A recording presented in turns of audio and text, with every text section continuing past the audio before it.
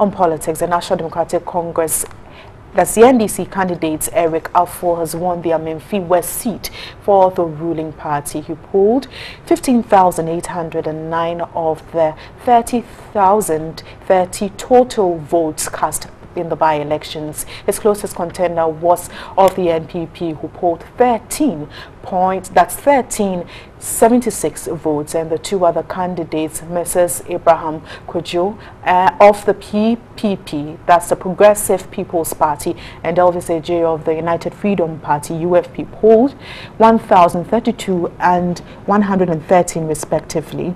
The constituency with the voter population of 62,364 only managed to attract a 49% turnout. Now, we'll be speaking with Martin Ej Korsah. He's the Director of Elections for the NPP. Good afternoon and thanks for agreeing to speak with us. Good afternoon, Martin, and thanks for agreeing to speak with us.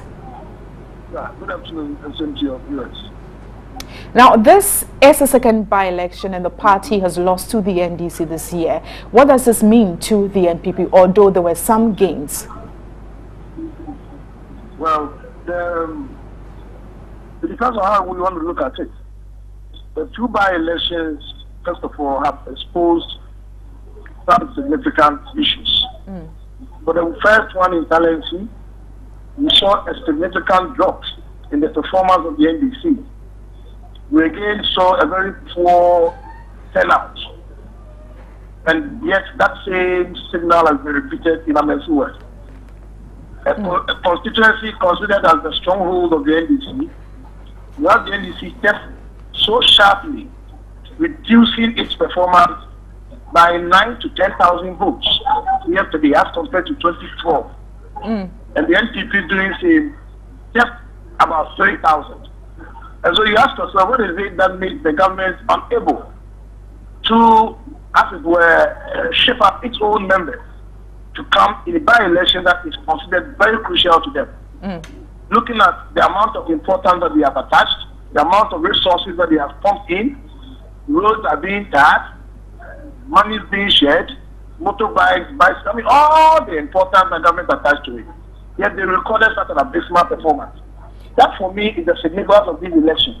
Now, it's not in all elections that one goes to want to win, but just to try and minimize your losses. Mm. And that's what the NPP has done in this Now, one. Martin, what, I, one would ask that what did you do differently looking at the gap you were able to close up? What did the party do differently and how positive is this for you, building on what you just touched on? Well, well, well, that may be a matter of strategy, but I'm not sure that it's important or it's good enough that I put it out. Mm. But secondly, we did the right things. We aimed at reducing fraud we aim at making sure that only people who are eligible to vote come out to vote. Mm. And our message went on the ground. We met and interacted with the people and showed our message to them. And largely, if you look again, one significant thing that I want you to take note of is the Breman community in Amenfi West, which is a predominantly stronghold of the NDC. They won and won it massively just in 2012. Now, just in this by-election, nearly all the electoral, uh, the polling stations in that electoral area were lost. Where the NDC would have been recording 200 votes in 2012, now it reduced to 36. Hmm. And so they lose, they, they, they, they lost grounds. And it's due for, for, me to the hard work that we put in place and some other loose ends that we tightened up. Hmm. It was a dress rehearsal for 2016 in the case of the NDC. And I think we, we, we largely achieved our, uh, our, uh, our uh, aim. Now, so now in, in, in, in achieving in achieving your aim, Martin, there was a turnout of 49%, and which was a bit worrying for some people out there. Now, could this, if, if the apathy didn't come up, could this have contributed to your gains? And for your party, with just a 49%, was this a concern for you? If the people were there, if were genuine NDC members, what stopped them? What would have made as many as close to 10,000 members of the NDC turn their backs on their party in such a crucial by-election?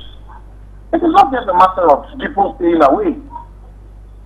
It, it, it talks for me about how bloated the register is and some other things that have gone on over the past. and that's for me out.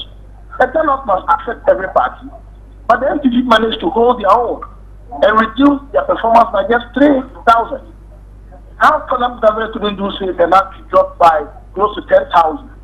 If there's a low turnout in the election, it affects all the competing parties, not just one. All right then. But yet, in sharp focus is the NDC's performance. Okay, thank you very much, um, Martin J. Korsah. We're looking at um, the just ended Amenfi West um, by-election.